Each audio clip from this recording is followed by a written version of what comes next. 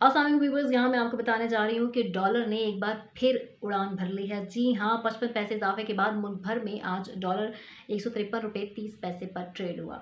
पिछले दिनों हमने देखा कि लगातार कई दिनों से जो डॉलर की कदर थी, वो गिर रही थी और रुपया उसके मुकाबले में तगड़ा हो रहा था। लेकिन फिर इसने जो, ये जो है, वो पचपन पैसे महँगा हो गया है। पचपन पैसे इजाफे के बाद आज जो मुल्क भर में डॉलर की कीमत रही, वो एक सौ तिरपन रुपये तीस पैसे रही।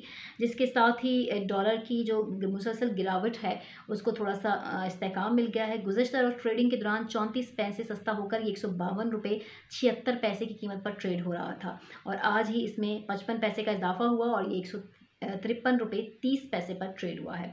दूसरी जानब अच्छी बात यह भी है कि पाकिस्तान के ज़र मुबादा ज़खायर पाँच साल की बुलंद तरीन सतह पर पहुँच जाने का इम्कान ज़ाहिर किया जा रहा है। यूरो पाउंड्स की फ़रोख्त और आई एम एफ़ से कर्जे की किस्त मिलने के बाद आइंदा चंद रोज़ के दौरान ज़र ज़र मुबादा के जो ज़खायर हैं, वो तेईस अरब डॉलर से तजावज़ कर जाएँगे, जिसके बाद पाकिस्तानी मीशत को थोड़ा सा मज़ीद इसकाम मिलेगा। ये थी लेटेस्ट अपडेट जो हमने यहाँ शामिल की। आपको इस हवाले से मज़ीद इन्फॉर्मेटिव वीडियोस डेली अपडेट मिलती रहेगी। हमारे यूट्यूब चैनल से अपना बहुत ख्याल रखिएगा और हमारे चैनल को सब्सक्राइब कर दीजिएगा।